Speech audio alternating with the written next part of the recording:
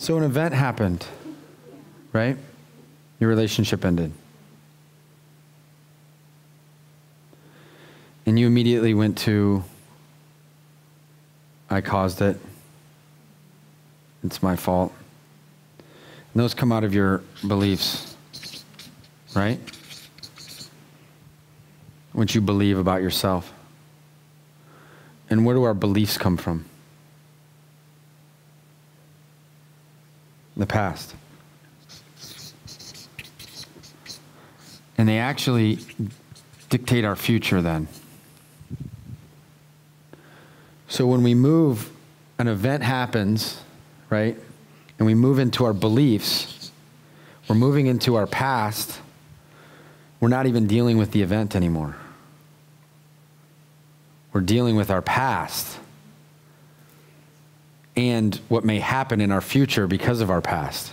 So you're going into this again right now, just thinking about it. You're going into, I caused it, I'm guilty, I feel so guilty. You said that, right? So that's a, something that's been there probably a lot longer than this event was before the event happened.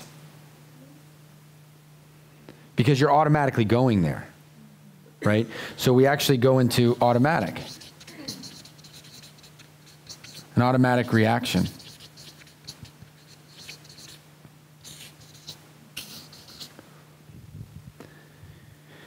And the cycle keeps going. An event happens, we go in our beliefs, we access our past and go into these automatic reactions. And these automatic reactions actually create the state of being that lead back to how we're feeling in the event. The event happened, you felt guilty, you came from your past, you've reacted automatically, and now you feel guilty about feeling guilty. Right? And, and, and down in this area, there's no, you know, this is, this is actually a safe place. You know, it's comfortable, not in the sense that it's like I want it to happen, but it's comfortable and I know how to survive that. You recognize it. You can live with guilt. You've been doing it. I, I didn't say you wanted to. And I acknowledge you for that. You know, this cycle we keep staying in unless we do something else. So there's a way out of it. Would you like to know the way out of it? Okay. So when we're triggered with these feelings, right? It doesn't have to be just that event, but every time that maybe that guilt comes up around this event or around the events that we've created around the events, instead of going into this, once you can realize that you, you go into an automatic place, there's an awareness that happens and you can stop. You can literally stop and say, I'm going to take a look at this.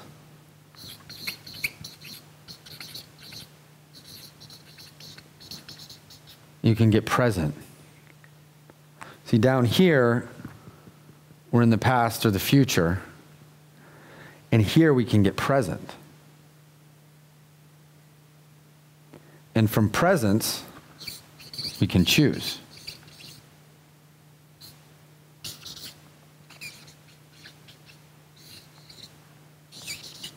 Take a risk. Choose something else.